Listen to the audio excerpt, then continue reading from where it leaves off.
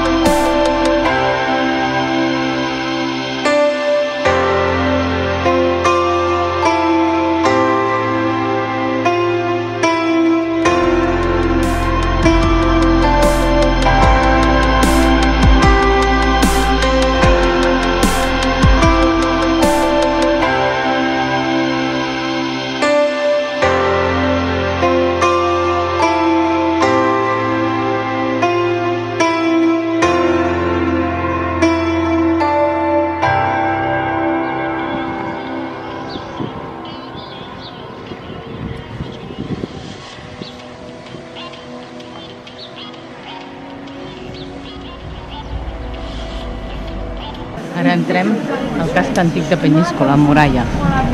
L'arc de la muralla.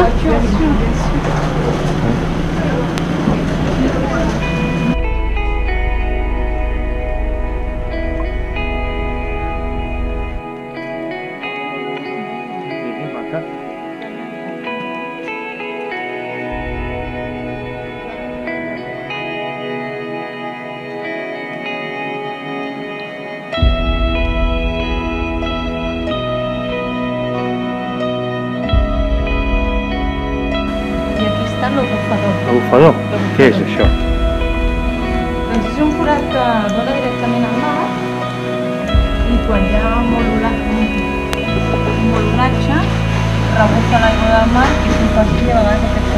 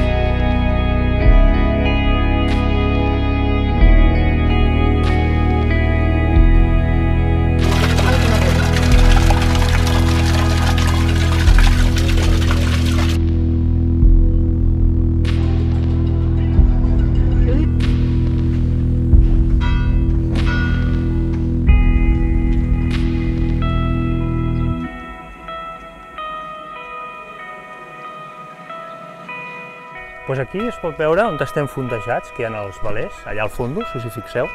És un lloc molt bo per fondejar perquè fondegem fora de la bocana del port, en un, entre les boies grogues i l'espigó de Ponent, i és una zona molt protegida i que es pot fondejar sense pagar res. Vull dir, pots tenir el barco aquí, baixar a veure Penyíscola i, i és, un lloc, és un lloc genial, allà ho podeu veure. No hi ha molt de fondo, eh? la zona que hi ha el, el valer més gran hi deuen haver dos metres i mig, i en 2,80 màxim, i on estem nosaltres doncs, potser hi ha dos metres. Però si el calat us ho permet, ho recomanem perquè realment hi ha pocs vents que entrin en aquesta zona. Estem davant mateix d'una platgeta que es pot veure allà i que realment s'està molt bé. Eh, s'està molt fresquet.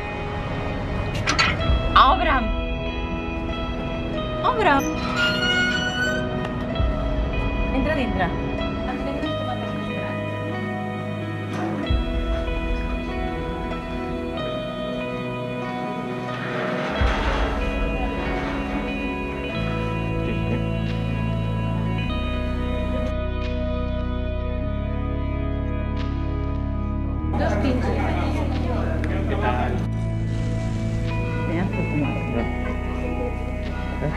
Eh, firma una foto amb el casc antic de Penyíscola està perfectament conservat.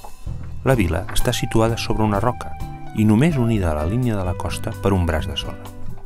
Penyíscola està tota envoltada per una muralla i un castell impressionant, que va ser residència d'un papa, el papa Luna.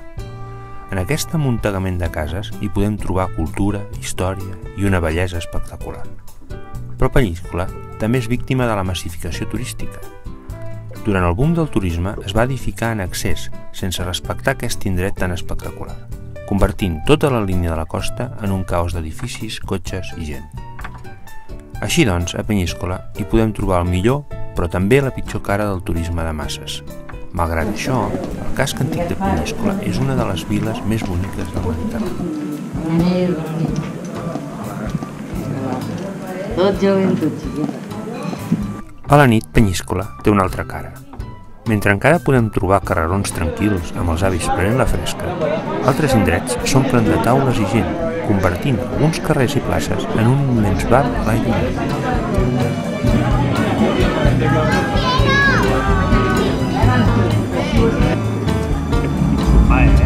Pizza amb anxoves.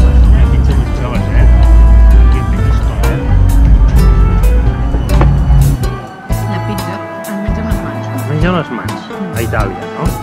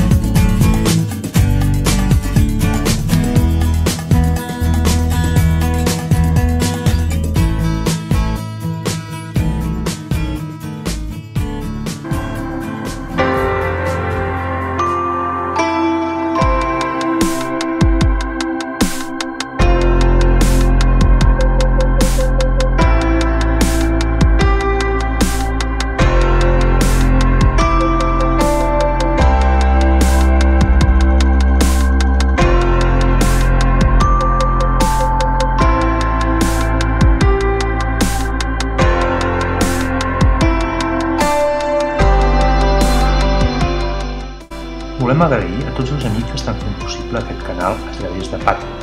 Aquest vídeo és possible només gràcies a vosaltres. Si t'agrada el que fem i ens vols ajudar a fer créixer aquest canal, Ves l'adreça de Patreon que hi ha a la descripció del vídeo i converteix-te en un dels nostres patrocinadors. També ens podeu ajudar accedint a una versió més extensa d'aquest vídeo al canal de pagament de Vimeo. I si us ha agradat, us agrairem que us subscriviu a aquest canal de YouTube, La Vida a Vela. Ens poseu un like, deixeu un comentari i que compartiu aquest vídeo. Entre tots, estem fent aquest canal. Moltes, moltes gràcies.